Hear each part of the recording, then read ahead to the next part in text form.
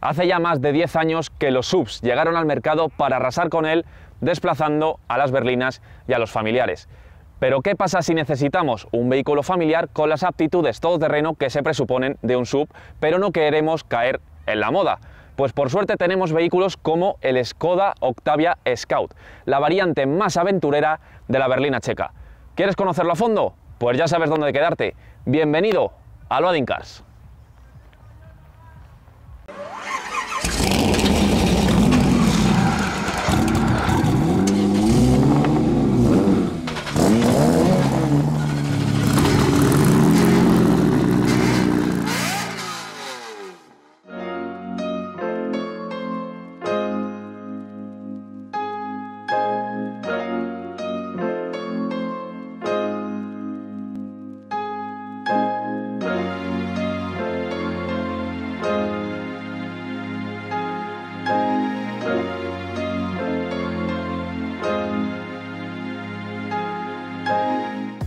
La familia Octavia está compuesta por muchos miembros, por la berlina, la versión combi o familiar, las versiones deportivas RS y por último por la versión más aventurera y campera de toda la gama, el Skoda Octavia Scout.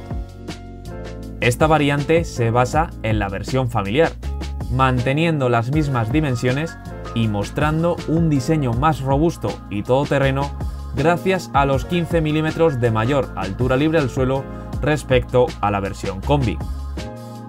Podremos escoger nuestro Scout entre cuatro motorizaciones, formados por dos motores gasolina de 150 caballos, sin o con microhibridación, y por dos motores diésel de 150 y 200 caballos. En las versiones diésel siempre tendremos asociado un cambio automático DSG de 7 relaciones, además de una transmisión 4x4, aunque por primera vez en la gama Scout tendremos la opción de equipar tracción delantera. Este aspecto aventurero lo consigue gracias a un frontal robusto con protección de bajos de aspecto aluminio, una marcada línea lateral con notables protecciones plásticas sobre los pasos de rueda, llantas de hasta 19 pulgadas, como las que montan nuestra unidad llamadas Manaslu acabadas en antracita con torneado brillante y finalmente una zaga de grandes dimensiones rematada por la mencionada protección de aspecto aluminio.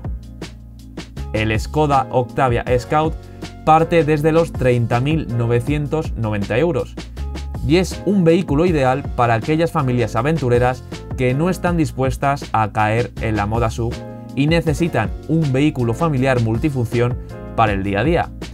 Así que vamos a conocerlo y a probar sus capacidades.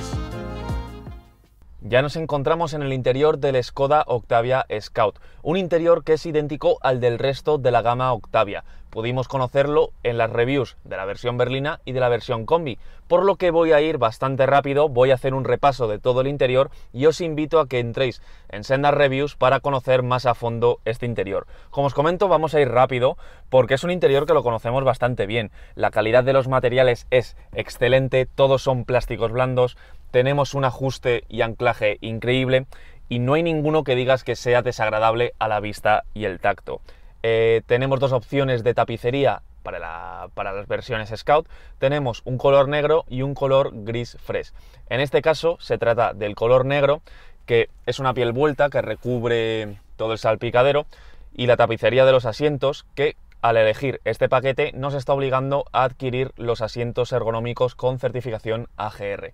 Estos asientos tienen un coste de 2.735 euros y la verdad que son una maravilla, ya que cuentan con multitud de funciones como los reglajes eléctricos, que los tenemos aquí a mano muy cerquita, y tenemos funciones de memoria. Eso quiere decir que tenemos varios perfiles de conducción, así que podemos ir rotando con otro conductor que guardará su posición más, más idónea para conducir. Además también si arrancamos el vehículo, que tenemos en toda la gama Scout desde el nivel de acceso llave inteligente, arrancamos y como podéis ver el asiento me está colocando en mi posición que he guardado y al retirarnos, es decir, al salir del coche también el asiento lo que hará será retrasarse para facilitarnos la salida y su diseño pues está muy chulo en esta piel alcántara, en esta piel vuelta y también en cuero en la parte central y con las letras Scout en la parte superior. Son unos asientos que la verdad que acompañan muy bien la conducción. Tenemos un volante multifunción de dos radios, eh, muy cómodo, escalefactado también.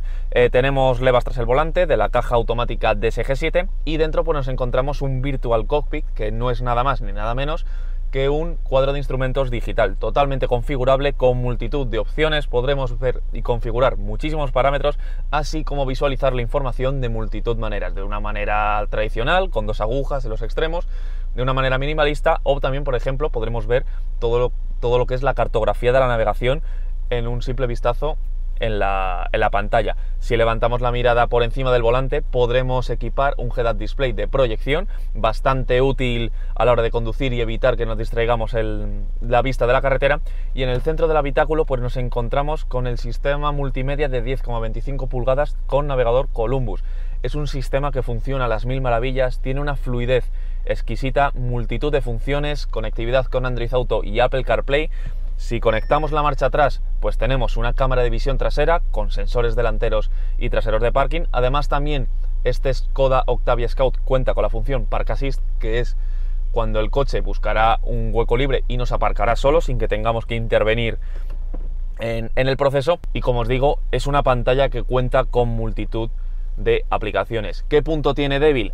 Que tiene todos los menús y aplicaciones integrados en la pantalla. Es decir, hemos perdido, por ejemplo, los mandos físicos del sistema climatizador para ser integrados en la propia pantalla. Y eso es algo que no me gusta porque nos obliga a desviar la vista de la carretera. Pero bueno, eh, por suerte, justo debajo tenemos teclas de acceso directo a forma de piano para entrar a distintas aplicaciones, como por ejemplo para entrar al propio, al propio clima y configurarlo por ahí.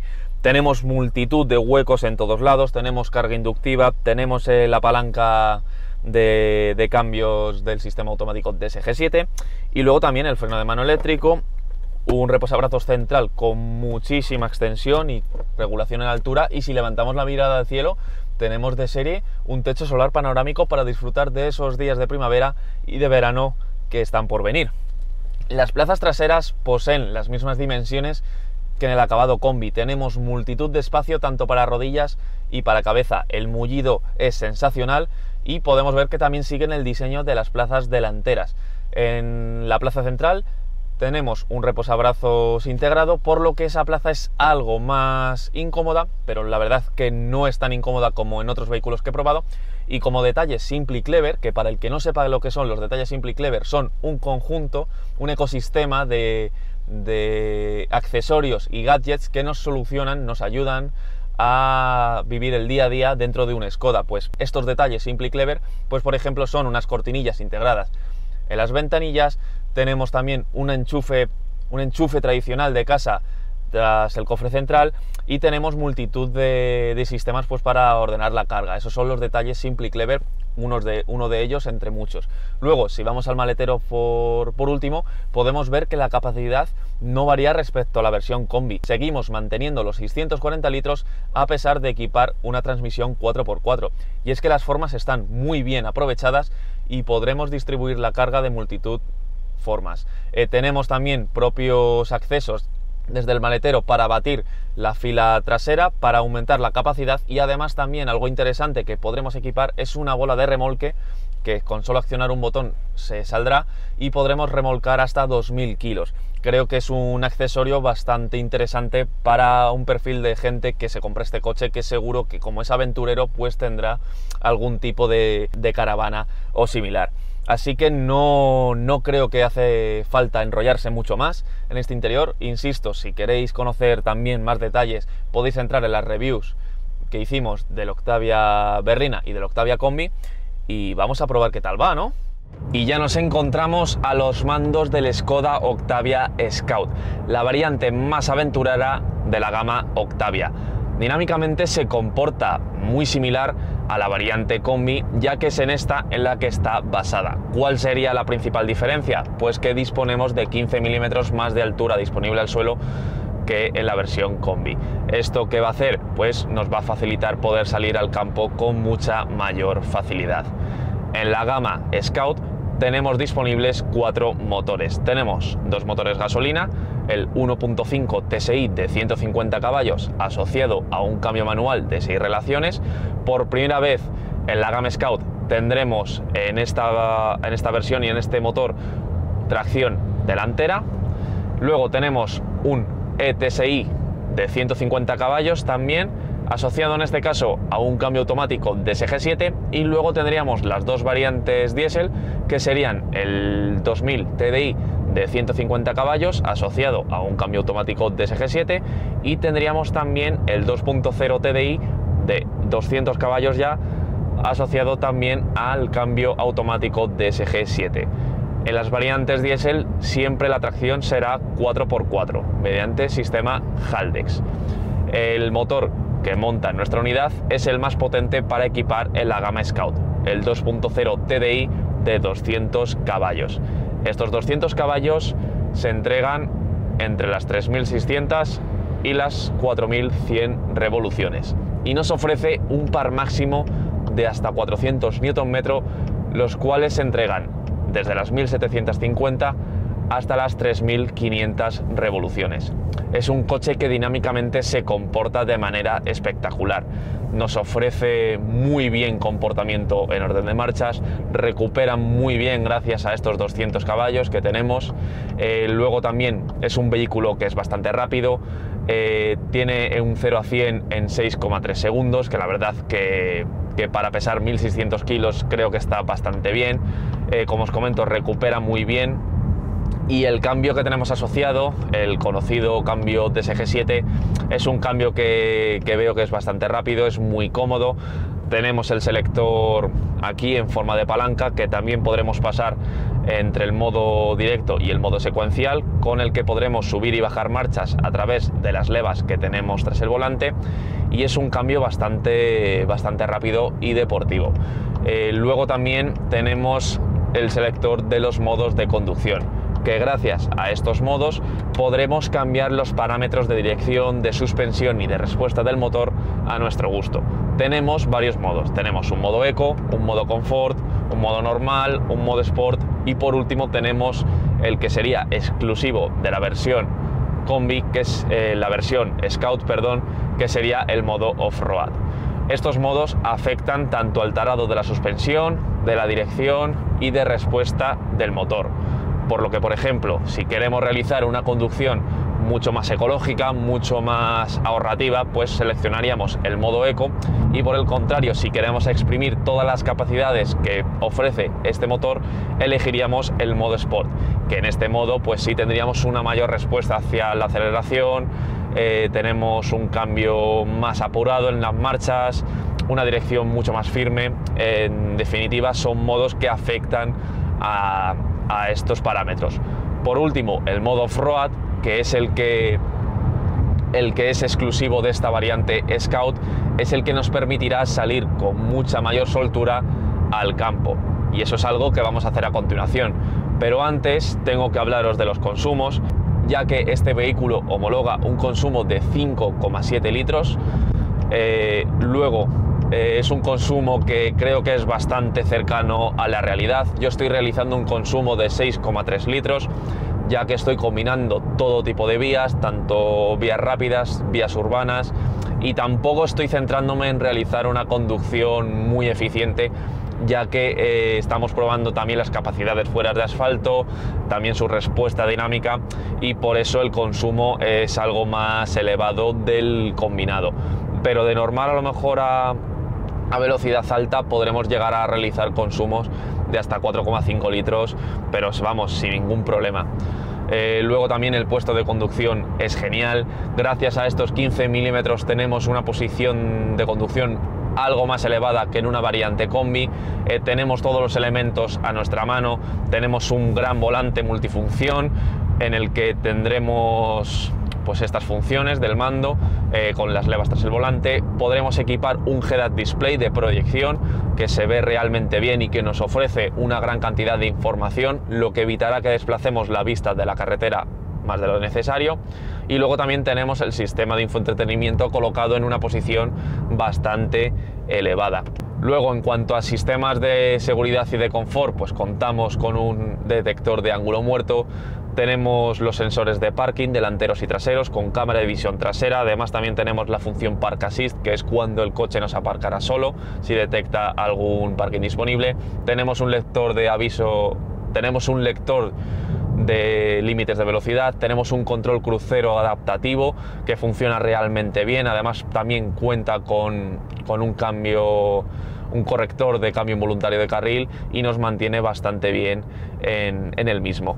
Y en definitiva es un vehículo que es muy muy cómodo de conducir y más si equipamos estos asientos ergonómicos tapizados en Suedia que tenemos además también el logo Scout en la parte superior que ofrece memoria y también los reglajes son eléctricos y un detalle que tienen que me gusta bastante es que recuerdan la posición en la que nos encontramos y cuando vamos a salir del habitáculo el, propio asiento se echa para atrás para, para facilitarnos la salida.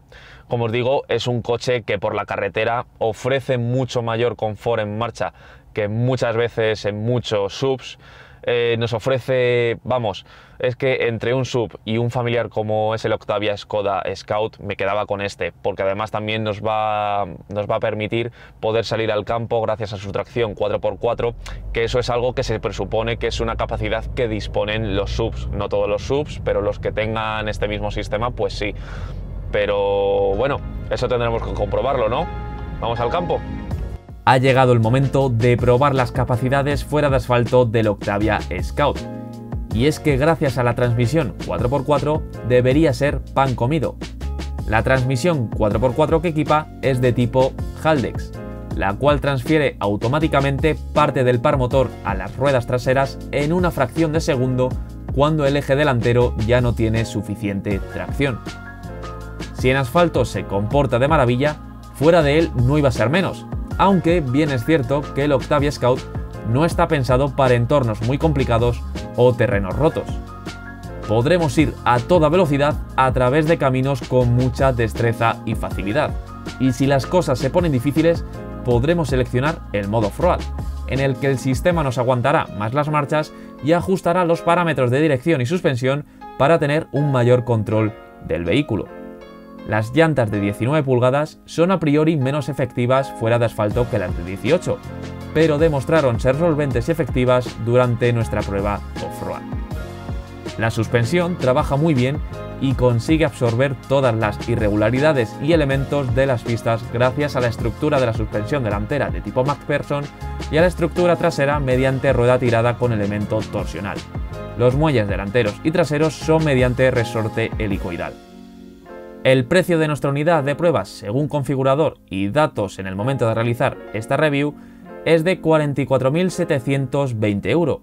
Y es que gracias a estos elementos podremos disfrutar de todo un día de campo y llegar a lugares apartados de los que disfrutar con toda la familia. Y bueno, lodingueros, creo que quedan demostradas con creces las capacidades off-road del Skoda Octavia Scout. ¿Quién quiere un sub pudiendo tener un familiar con estas cualidades? Yo lo tengo claro. Así que, como siempre, podéis entrar en loadincars.es para leer la prueba escrita y si os ha gustado el vídeo no os olvidéis de dejar un buen like.